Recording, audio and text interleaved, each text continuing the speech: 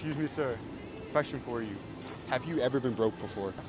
Could I interview you real quick? What's this for? I started the channel on Austin. I grew it to 8 million followers. I interview Okay, business what do you owners. wanna all- know? I guess what line of business are you in? Real estate, What type of real estate? shopping centers. I bought two in Las Vegas. Did you bought two of them in yeah, Las Vegas. yeah, just bought them. How long have you been buying real estate 35 years. There's a big misconception that you have to have a ton of money to start creating wealth in real estate. No, What, start small. what was the most amount of money that you made in a single year? Not one year, but one deal. On a $6 million investment, I made like 40 million. As a millionaire, what's the best financial advice that you ever received throughout your career? One lesson about money a mentor taught you that always stuck with you. Be cautious because when, sell, when someone's selling something, they're getting rid of a problem. And you have to find out what the problem is. Every single deal they're selling, remember, they're selling their problem to you. But what is the lesson about money that banks don't want people to know? The banks don't want people to Yeah. know. You never tell the bank everything. When the banks ask me for my financial statement, I always leave shit out. Just tell them what they want to hear. How old are you now?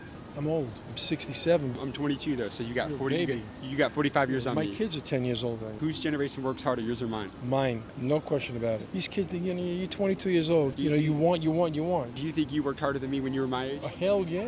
I disagree though, man. I work a oh. lot. When I was 22 years old, I had two jewelry stores. I was hustling on the street, selling jewelry, traveling, going to Italy to buy this shit, and coming back, and I we did it on a shoestring. If you want to learn directly from the real estate millionaires that I interview how to create wealth in real estate without a ton of money, Go click the link in my bio right now.